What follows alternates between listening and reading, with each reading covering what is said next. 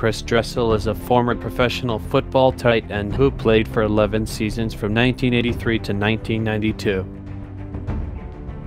Dressel was born on February 7, 1961 in Placentia, California. In college, Dressel played for Stanford University in Stanford, California.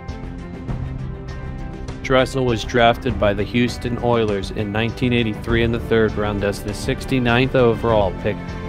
Over 11 seasons, Dressel played for the Houston Oilers, the San Francisco 49ers, the Cleveland Browns, the Kansas City Chiefs, the New York Jets, and the San Francisco 49ers.